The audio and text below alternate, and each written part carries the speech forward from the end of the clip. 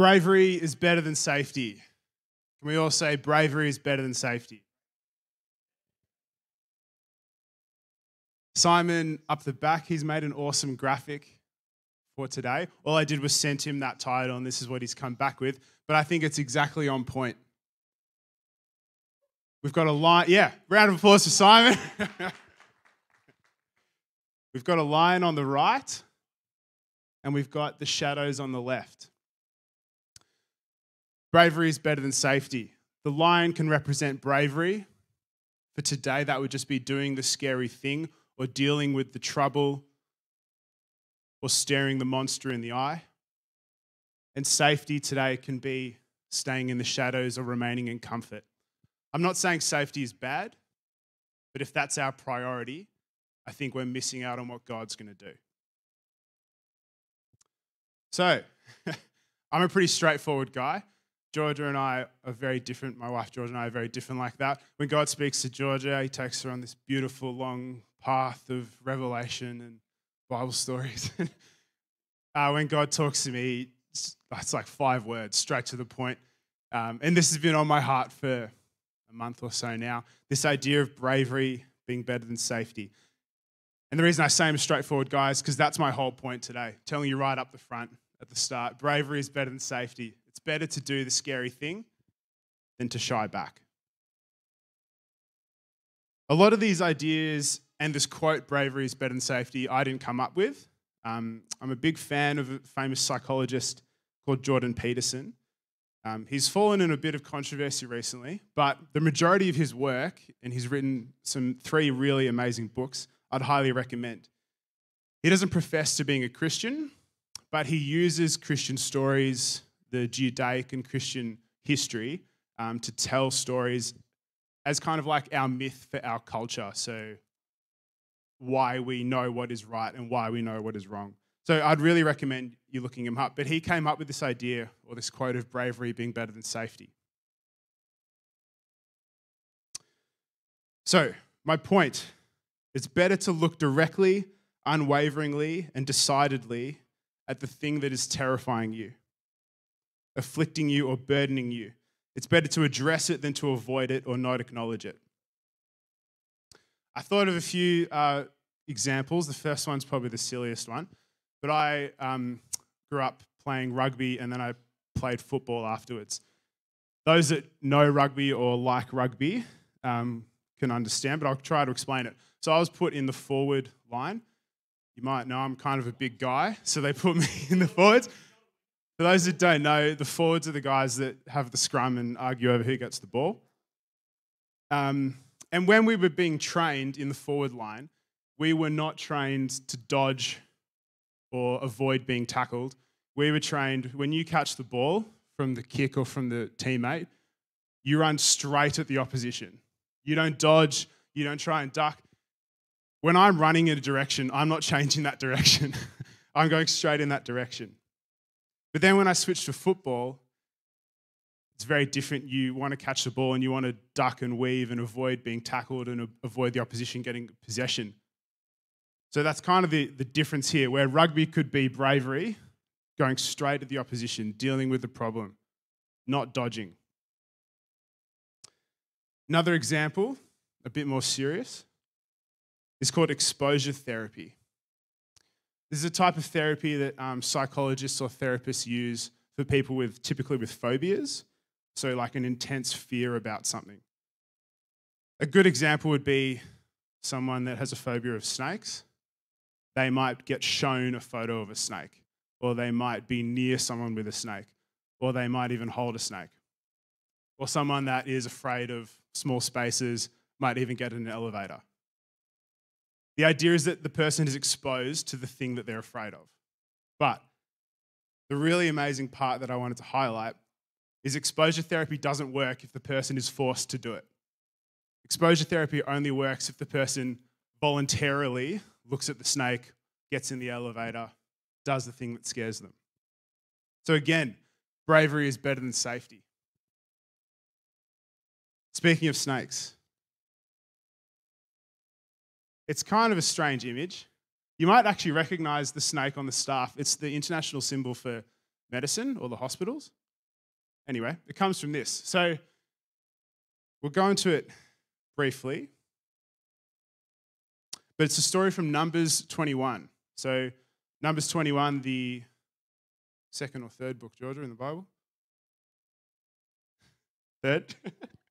third book in the Bible? Fourth book in the Bible?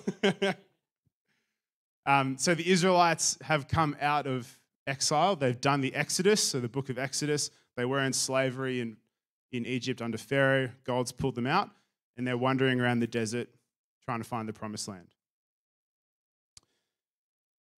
And it really brings home the point of bravery being better than safety because of God's response to what happens. So we've got our Bible passage, Numbers 21, 4 to 9. I'll read it out. From Mount Hor, they set out by the way to the Red Sea to go around the land of Edom. And the people became impatient on the way. And the people spoke against God and against Moses. Why have you brought us up out of Egypt to die in the wilderness? For there is no food and no water and we loathe this worthless place. Then the Lord sent fiery serpents among the people, and they bit the people, so that many people of Israel died. And the people came to Moses and said, We have sinned, we have spoken against the Lord and against you. Pray to the Lord that he take away the serpents from us. So Moses prayed for the people, and the Lord said to Moses, Make a fiery serpent and set it on a pole and everyone who is bitten, when he sees it, shall live. So Moses made a bronze serpent and set it on a pole. And if a serpent bit anyone, he would look at the bronze serpent and live. So that's the story. I'll give you my summary of it. The Israelites have been pulled out of Egypt. They've been delivered out of slavery. They're looking for the promised land. Aaron, which is Moses' brother, has just died in the previous passage because he disobeyed God. Israel has just defeated the Canaanites after being attacked by them. So they've had some loss and they've had some victory. The Israelites become impatient. They speak against God and against Moses. They complain about a lack of food and a lack of water, even though their food is manna from heaven. And in the previous chapter, Moses literally makes water come out of a rock. And they're complaining that they can't find the promised land. So, God sends fiery serpents amongst them. We can't deny this happened. I don't really have a theology for why God would inflict suffering on his people. And I think that's a really big topic that really deserves to be unpacked. But for our purposes today, we can just say God sent fiery serpents. Some people got bitten, or no, many people got bitten, and some Israelites died. The Israelites come to Moses they acknowledge that they've sinned against Moses and against God, and they ask Moses to ask God to take the snakes away. That's the backdrop. Moses prays. He gets told to, to make a bronze serpent statue so that if someone is bitten, they can look at the statue and they will be healed. So the process is if you get bitten, you need to look at the statue and you'll be healed. God doesn't take away the snakes. God tells the Israelites to look at their affliction, to look at the thing that is afflicting them, and that will heal them. This is kind of strange. Wouldn't you take away the snakes? They've, they've repented, they've changed their ways. But instead, God says if you are bitten by a deadly snake with venom running through your body and a snake bite leaking blood out of your body, you need to go and look at a bronze snake, and that's what will stop you from dying. I think God is saying bravery is better than safety. You need to look at the thing that is afflicting you, or causing suffering, or causing pain or anguish. And when we look at it, that's when He'll heal us, or that's when He brings about resolution. So, what's the snake for us here in 2022? I've never been bitten by a snake. I have been stung by a scorpion, but that's a different story. what am I saying we should acknowledge? In short, we need to look at sin or affliction or pain or suffering and even evil. This could be for you, it could be for your loved ones, it could even be for our community or our nation. I don't need to tell you that there is evil in this world. Sin is rampant, it's damaging literally everything beyond our understanding. And this is part of why this message is so meaningful to me and why I wanted to share about it today. I've been really struck by how our God is the God who acknowledges the pain and sin in the world. He doesn't shy away from it. The worst of life that I've seen or heard of, any death or abuse or pain or heartache, none of it's been beyond God interacting with it or connecting with me or that person in that pain. And that leads me to a key part of the Christian faith that I think we should acknowledge, not so much celebrate, but definitely acknowledge. And that's that we as Christians acknowledge sin. We acknowledge evil, we acknowledge suffering. I've got a summary just off the top of my head of key people from the Bible. And this isn't the things that they did well, this is the things that they sinned or fell short in.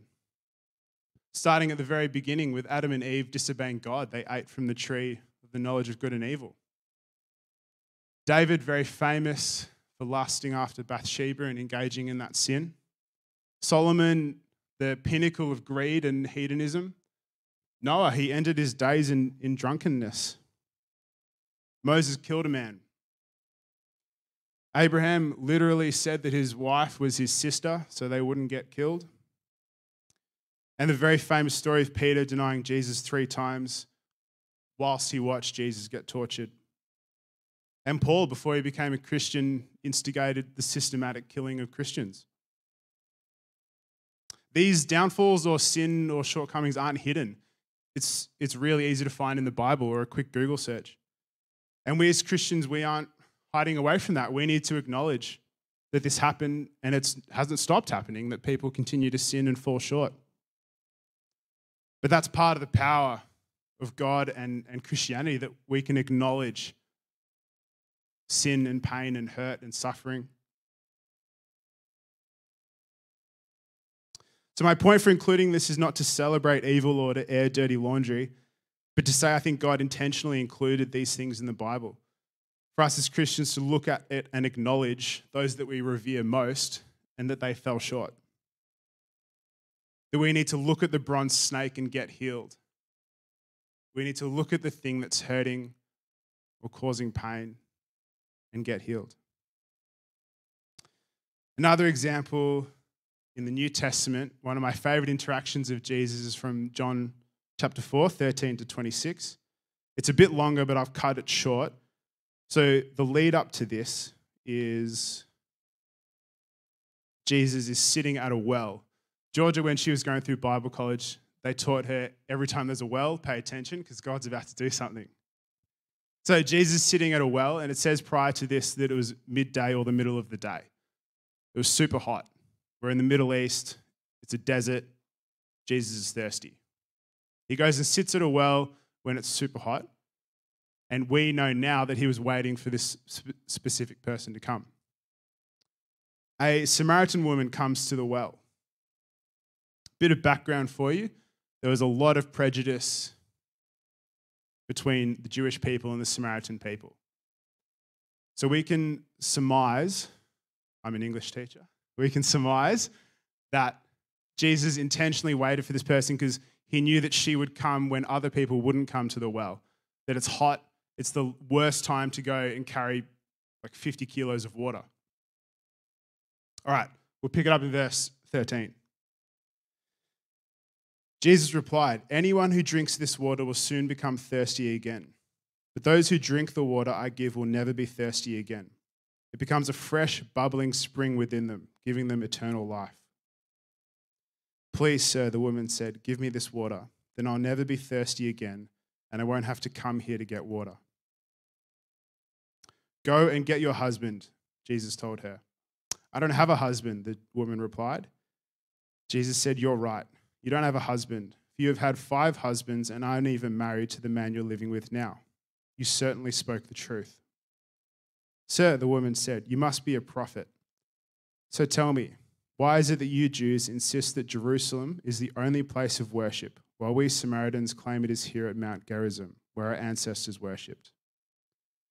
Jesus replied, Believe me, dear woman, the time is coming when it no longer matter whether you worship the Father on this mountain or in Jerusalem. You Samaritans know very little about the one you worship, while we Jews know all about him, for salvation comes through the Jews. But the time is coming, indeed it's here now, when true worshippers will worship the Father in spirit and in truth. The Father in looking for those who will worship him that way. For God is spirit, so those who worship him must worship in spirit and in truth. The woman said, I know the Messiah is coming, the one who is called Christ. When he comes, he will explain everything to us. Then Jesus said, I am the Messiah. So the Samaritan woman doesn't really want to interact with people. That's why she's going during the hottest part of the day. She knows that she's had five husbands and the man she's living with now is not her husband, which is a very, very shameful thing in that time period. Jesus asked her for a drink. He ignored the prejudice between the Jews and Samaritans and between men and women of the time. He asked the outcast for a drink. She then offers him a drink. And Jesus then says, or Jesus then tells her about the everlasting water. And then she asks him for the everlasting water. Then Jesus asked her to go get her husband. He called her out for living with a man that she wasn't married to. Now, this again is strange. Jesus didn't beat around the bush. He didn't even talk her through getting the everlasting water. He spoke straight to the sin in her life. She responded by acknowledging Jesus' divinity. She said, You must be a prophet by knowing that I've had five husbands and I'm not living with a man, I'm not married to the man I live with. And she's asked about accessing God through her own understanding of how to access God. So she said, Why are we Samaritans not able to connect with God the same way that you Jews do? And Jesus responds, He says, True worshippers will worship in spirit and in truth. And then he tells her that he is the Messiah. In short, Jesus pointed out her sin in a pretty non pastoral way. That he tells her about the everlasting life or everlasting water, she says, Can I have the everlasting water? And then he says, You're not married to the man you're living with. It's probably not how pastors operate, hey, Frankenbeck. But she responded. She acknowledged her sin, and Jesus told her how she could connect with God from then on. And Jesus sometimes speaks in parables, but there are times when he speaks straight to the issue. And this is again my point about bravery being better than safety. God wants to, or He will address it straight to the point. Sometimes He does take us on a long revelatory journey, but other times He speaks straight to the sin or the pain in our lives. And God always responds. An example that I wanted to share and embarrass Tori and Adrian about uh, George and I are running the youth group at the moment with the amazing help of Tori and Adrian. And I was really inspired when we had a meeting last term, towards the end of last term. Tori and Adrian both shared about how scary running youth was, but then they both said, but we're still going to do it. And I thought that was super brave. I think it doesn't matter what your fears or hesitations are, if you've got these fears and hesitations and then you still do the thing, that's brave. And God honors that.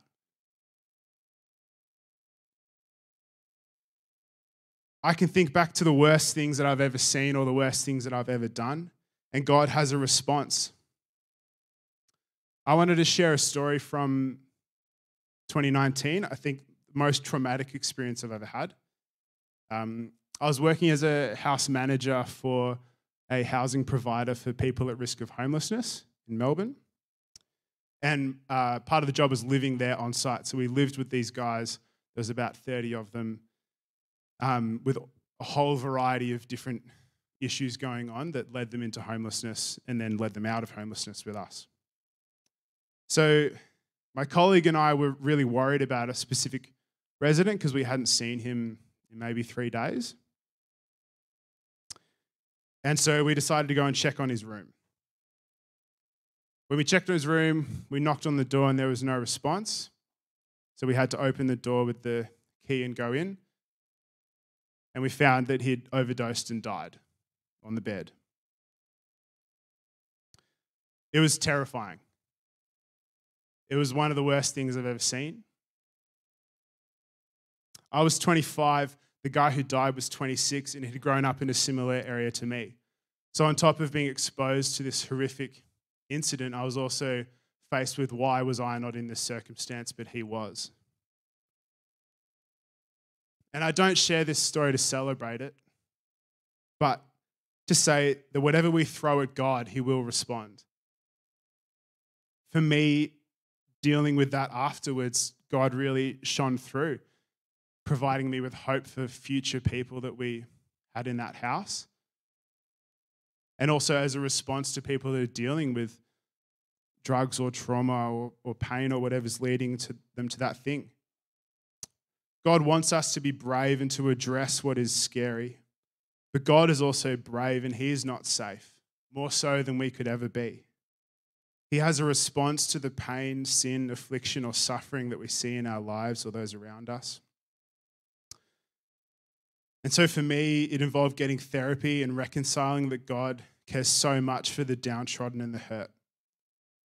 And if someone turns to drugs to feel something, I certainly will not condemn that person. But I want that person to be brave in their own way and deal with that issue so that they can heal.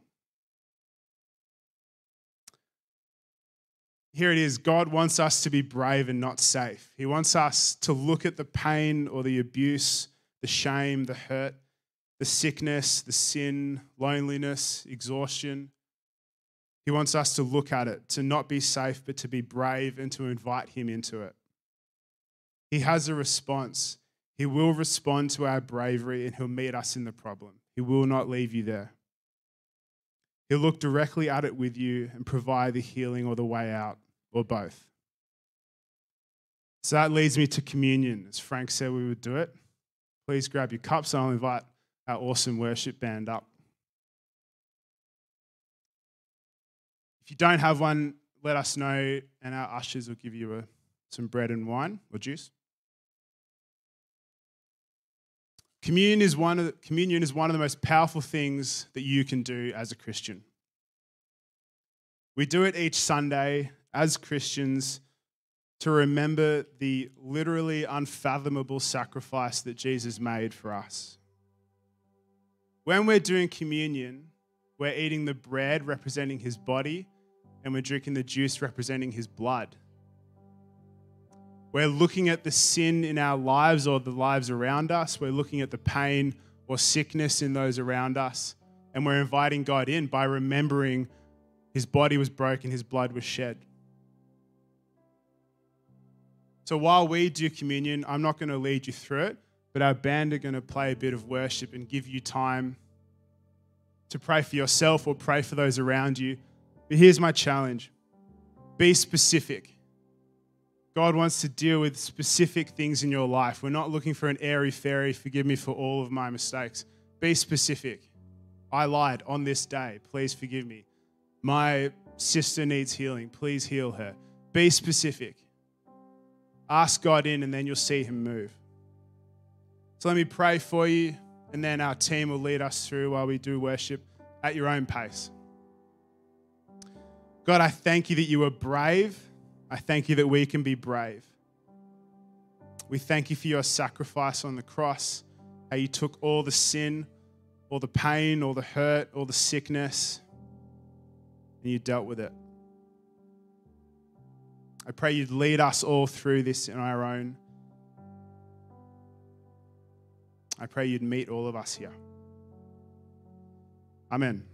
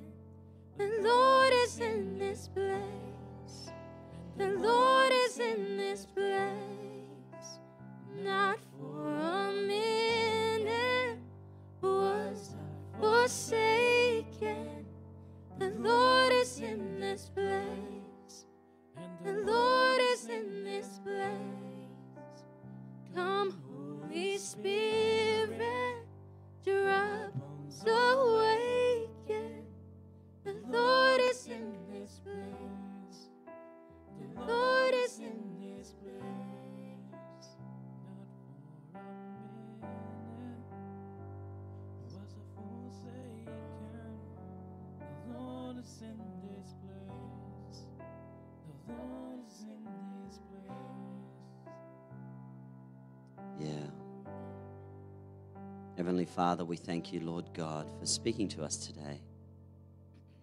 Father, I pray for those of us that are, have things that are weighing us down or things that are holding us back. Lord, I thank you that we can look to you as the bronze serpent and that you bring healing into our lives. In Jesus' name.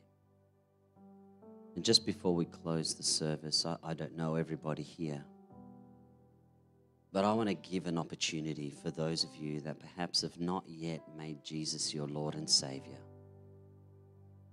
This is the moment for us to connect back with God. And I want to read a scripture to you from John chapter 3. Many of us know John 3:16, probably recite it all off the top of our head. But I want to read 13 to 15. And it says, No one has ever gone to heaven and returned, but the Son of Man has come down from heaven. So we know that's talking about Jesus. It says, And, verse 14, as Moses lifted up the bronze snake on the pole in the wilderness, as Matt had spoken about, it says, So the Son of Man must be lifted up.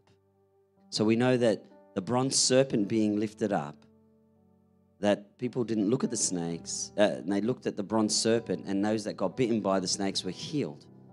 That was a type of Jesus to come. So that today, as we look at Jesus who was lifted up like that bronze snake, yeah, we have snakes in our lives.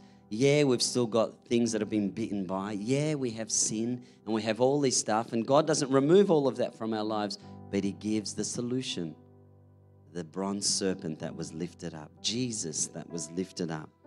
Says, so that everyone who believes in him will have eternal life.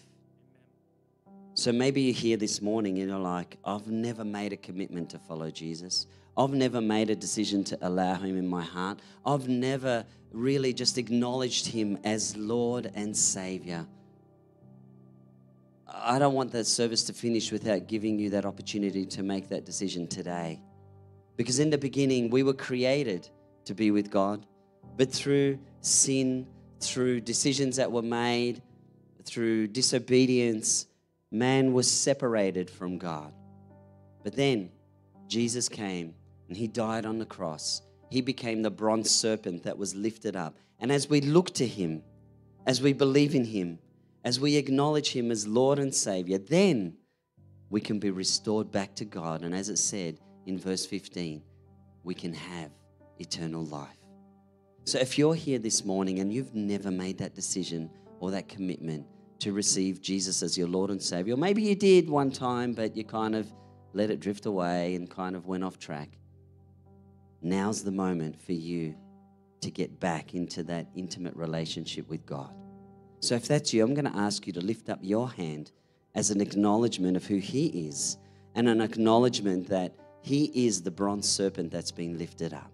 So if that's you this morning and you're wanting to make that commitment to God, lift up your hand right now as an acknowledgement to Him. Thank you, Lord Jesus. Thank you, Lord. In Jesus' name. And I just want us to pray this prayer because we can pray this together. Let's do it together in unity on the count of three. One, two, three. Dear Lord Jesus, I know I have sinned and I ask for your forgiveness.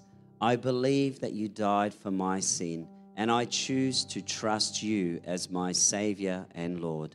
I invite you into my heart and ask you to guide my life Thank you for restoring my relationship back with you in Jesus' name.